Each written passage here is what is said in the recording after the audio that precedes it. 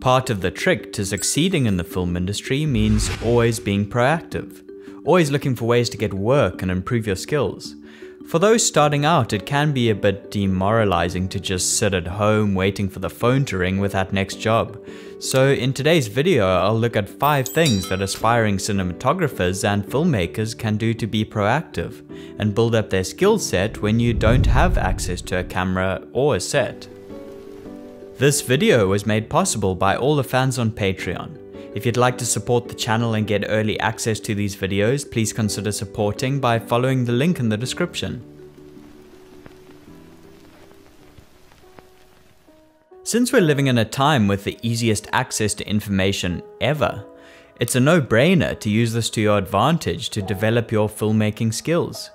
When it comes to learning, I'd say around 70% of it can be picked up from actively shooting and working on sets, while around 30% of filmmaking can be learned through education. Whether you agree with this percentage or not, it still makes sense for aspiring filmmakers and even established ones to expand the bounds of their theoretical knowledge. This doesn't mean that you have to attend a film school. There are many free avenues for education which I'd recommend. YouTube is a great resource when it comes to expanding your knowledge, if you look in the right places. I'd recommend balancing watching videos which are more technical, such as camera setup videos or cinematography workshops, with interviews from some of your favorite filmmakers or behind the scenes videos. Watching reviews of the newest or latest camera gear on the market is less important than educating yourself on core filmmaking concepts like lighting, focal lengths, and blocking scenes. Reading cinematography articles is another great way of learning. Again, looking at both technical articles such as American Cinematographer, along with interview articles of cinematographers or directors that go over the philosophical decision making behind those technical choices. If you're just starting out in film and are looking for physical reading material on filmmaking and cinematography, some books I found useful are Painting with Light by John Alton and Film Art by Bordwell and Thompson. There are also many people on social media posting their lighting diagrams these days. This can certainly be useful when you're starting out to get a sense of lighting concepts, but I would caution people checking out these posts to use them as inspiration for their own lighting, rather than trying to directly copy these setups. Your filmmaking skill set will come from physical application and practice along with the theoretical side. I find that a great way of working on a more tangible appreciation for lighting, without using any gear, comes from observing light in the real world.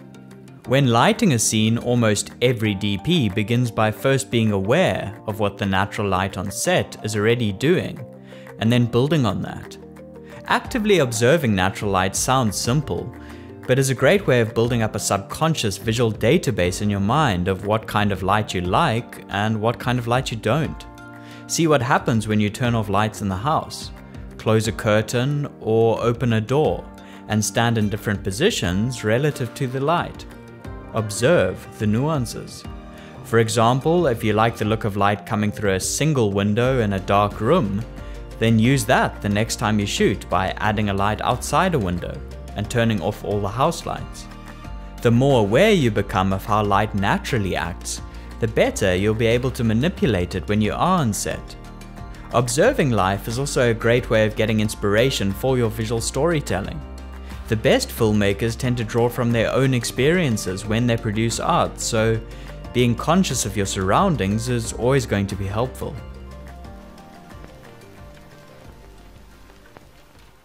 Number 3.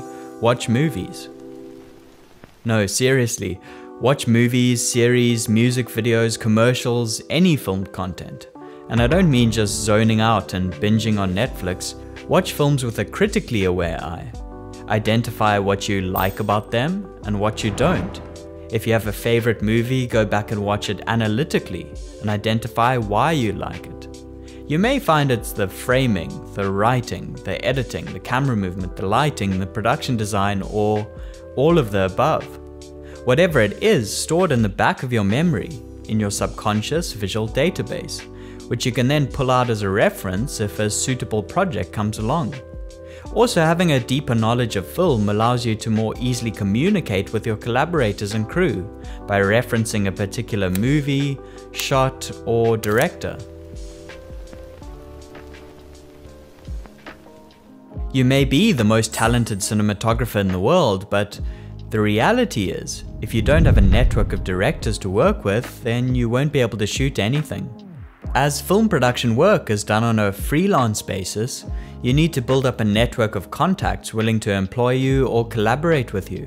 This can be done in many ways, such as displaying your work online through a website or social media, attending film festivals and making contacts there, joining a crew agency who will put you forward with new contacts, communicating or reaching out to potential collaborators and production companies directly, or making shorts with classmates at a film school.